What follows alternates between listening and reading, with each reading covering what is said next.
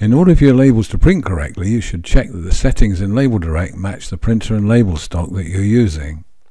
The window on the right shows the properties of any element that's selected.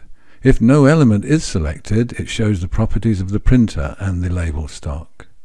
You can change the printer setup by clicking Change on the printer settings on the right-hand Properties window. Make sure that you select the printer that you'll be outputting to and make sure that the appropriate driver is selected. This window also displays specific settings associated with your printer.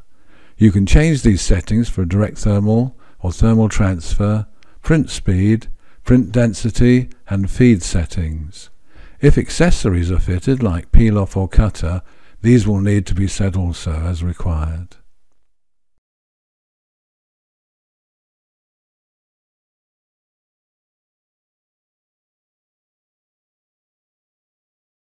There's no need to make any changes within the printer driver as all the settings chosen here will be communicated directly to the printer.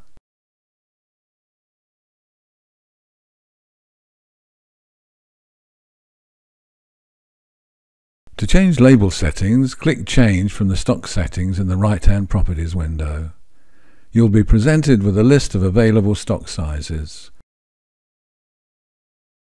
If the size you are looking for is available, simply highlight it and click OK.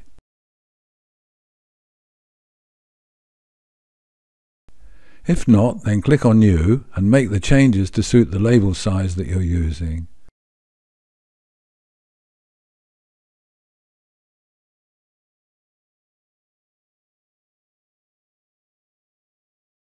You should give your label a name. Once happy with the settings, click on OK and you'll be ready to start your design.